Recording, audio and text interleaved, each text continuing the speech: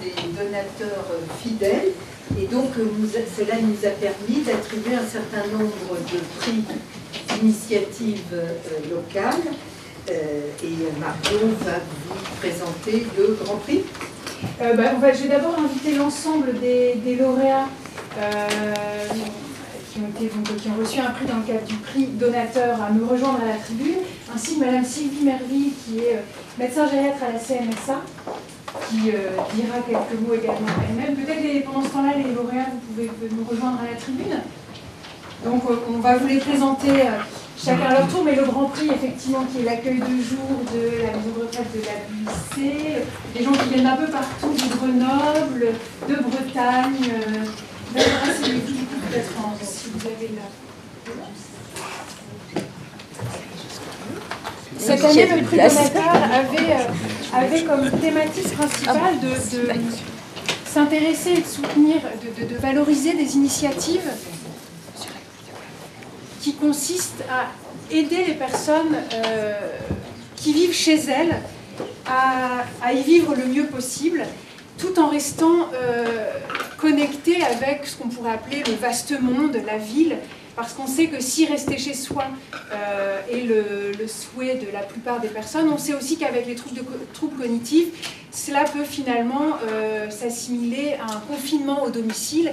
Et vous allez voir comment l'ensemble des lauréats ici présents contribuent à ce que vivre au domicile ne signifie pas retrait du monde, mais je laisse pour en dire euh, davantage quelques mots. Et avant d'introduire les lauréats, Madame Sylvie Merville qui nous fait l'amitié de venir euh, ici. Euh, donc Madame Merville qui a été l'un des membres du, jury.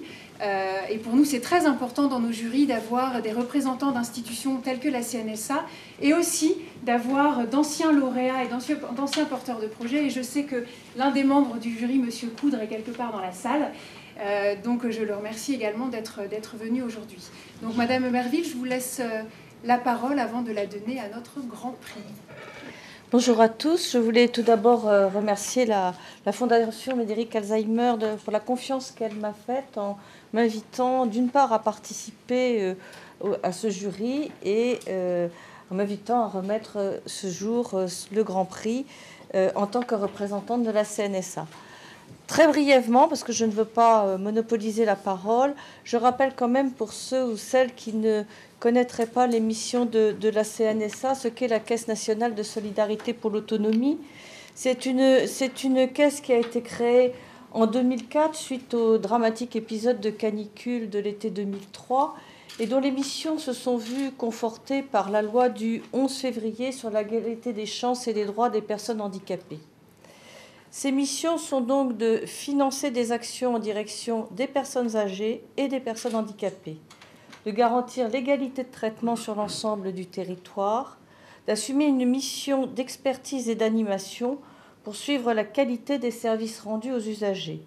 C'est donc une caisse à la fois chargée de répartir des, des moyens financiers, mais aussi une agence d'appui technique. Aussi, participer au, jury des prix des donateurs intervient dans la continuité des missions de la CNSA, puisque, comme il a été dit, ce prix vise à récompenser des actions locales permettant à des personnes malades d'avoir des activités et une vie sociale à l'extérieur du domicile. Nous sommes, bien donc dans la compensation de la perte d'autonomie, le maintien de la citoyenneté et la participation de la vie sociale qui, sont, qui font les valeurs de la CNSA. Je suis donc médecin gériatre au sein de la direction de la compensation de la perte d'autonomie depuis maintenant trois ans. Au préalable, j'ai exercé dans un conseil général, ce qui m'a permis d'acquérir une certaine expérience de terrain. Cette expérience de membre du jury, c'est pour moi une grande première, parce que j'ai été euh, jury de, de, d'examen d'étudiants, mais jamais euh, jury de, prix. Donc c'était une première. Et euh, ça a été une expérience fort intéressante et enrichissante pour moi.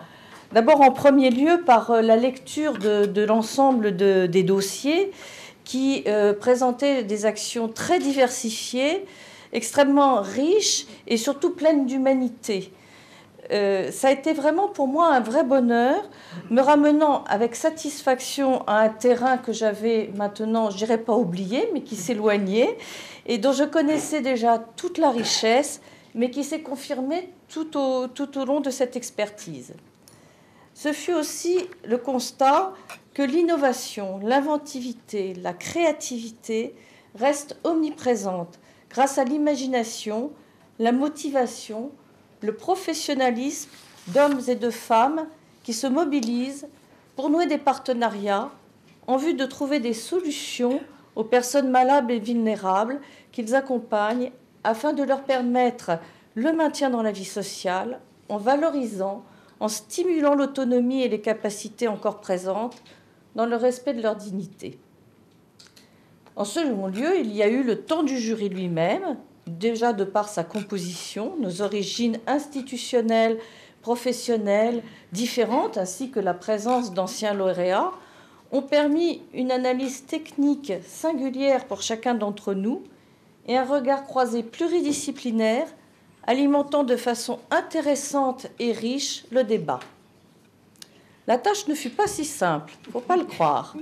Toutes, ces actions de qualité, parce que chacun des dossiers présentait vraiment des expériences particulièrement riches, ont généré des discussions, de longs débats animés, tant les avis étaient partagés. Nous avons quand même réussi à trouver un consensus qui satisfasse chacun d'entre nous et à déterminer un classement que nous allons maintenant vous présenter. Donc, le Grand Prix a été attribué à l'accueil de la buissée des murs d'Érigné dans le Maine-et-Loire. L'action consiste à favoriser des rencontres intergénérationnelles grâce à un, partenariat ancien depuis une dizaine d'années, depuis ce que j'ai pu en lire, avec, euh, la Maison de l'Enfance, avec cette originalité, parce qu'on parle souvent de, relations intergénérationnelles, mais bien souvent, c'est une rencontre qui est unique et qui ne se renouvelle pas forcément. Mais il y a une, cette originalité, que ça soit récurrent, de permettre la création dès le début de l'année qui démarre et de la prise euh, de, en accueil de jour de, de patients, d'un binôme adulte-enfant, binôme qui s'apprivoise, qui s'apprécient et qui se rencontrent chaque mois sur un thème pour partager des activités au sein, d'ateliers dont la thématique est renouvelée chaque année. C'était vraiment particulièrement intéressant. J'imagine que dans cette action, vous devez vivre des moments particulièrement émouvants. Et il se noue bien évidemment un lien entre l'adulte et l'enfant. Tout cela participe au maintien du lien social, à la dignité de la personne âgée et puis aussi, ça je dirais, un vecteur éducatif vis-à-vis de nos petits-enfants. Donc, j'appelle euh, Madame Céline Touché, coordinatrice de l'équipe d'accueil, à venir nous parler de, ces, de cette action. Et euh, je lui présente toutes mes félicitations pour cette euh, merveilleuse action. Merci beaucoup, mais j'aurais pas grand-chose à rajouter à votre discours parce qu'il retrace vraiment notre action. Euh, vous avez utilisé des mots innovation, originalité, mais vraiment nous dans notre quotidien d'accompagnement de la personne. Euh, c'est pour nous quelque chose qui s'est fait simplement et qui se fait toujours simplement. On n'a pas l'impression, enfin on a été très surprise de recevoir cette attention, cette, ce, ce prix parce que pour effectivement, l'intergénération, c'est quand même une action qu'on peut retrouver dans euh, d'autres lieux. Et, euh, et, on essaye vraiment, en tout cas, d'adapter nos activités, nos, actions auprès de ces personnes au plus près de leurs besoins. Et ce que vous avez retraduit de notre action, vraiment, c'est ça, c'est l'humanité, c'est la personne, c'est ses besoins, euh, c'est le bien-être, c'est la valorisation. Et au-delà d'être un lieu d'accueil à la journée, à la semaine, on, on cherche vraiment au-delà de la simulation cognitive, on cherche vraiment à, permettre à ces personnes de retrouver une vie en société qu'elle a parfois perdue euh, du fait de la maladie, de l'isolement qu'elle entraîne, euh, parce qu'il y a encore beaucoup d'informations, de, connaissances à apporter au grand public par rapport à l'accompagnement de ces personnes. Et toutes ces actions, notamment l'intergénération qu'on a, développées, euh, on cherche vraiment à, ce que ces personnes retrouvent un lien, une vie en société. Donc il y a l'intergénération qu'on a vraiment mis en avant puisqu'elle existe depuis bientôt 10 ans, avec des rencontres effectivement mensuelles, avec un partenaire local. On va essayer de la, euh, développer avec d'autres partenaires du territoire, euh, associations de bienfaisance, euh, MAM, on pense à une maison d'accueil, maison d'assistante maternelle. Mais on, développe aussi d'autres partenariats dans le cadre d'ateliers bricolage avec un public handicapé. enfin, vraiment, c'est notre notre volonté de, dépasser la maladie, mais bien de considérer la personne euh, dans son intégralité de, de personne. Mais je crois que Mme Melville a dit quelque chose de fondamental, c'est qu'elle a dit, quand euh, euh, on a vu les dossiers, l'intergénération, il y a plein de gens qui le font. Et ce qui est toujours très difficile dans des jurys, c'est d'arriver à trouver la chair derrière les mots. Parce qu'il y a des mots qui sont selon les époques, hein, comme l'a rappelé notre président, ça fait 12 ans qu'on remet des prix et qu'on sélectionne des équipes. Et il y a des mots qui sont des mots plus ou moins à la mode selon les époques.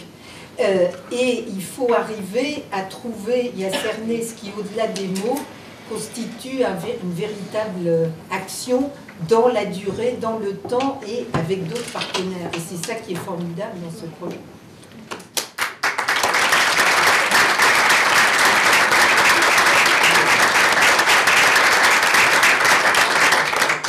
Avec mon directeur, M. Malgorn, on a été le porte-parole de ce projet qui existe depuis 10 ans, mais Véronique Jacquet, qui est à mes côtés, a, été l'instigatrice de ce projet et le porte avec beaucoup de dynamisme depuis. Voilà, donc on invite tout le monde à nous rejoindre pour la photo, à défaut de pouvoir accueillir tout le monde à la tribune.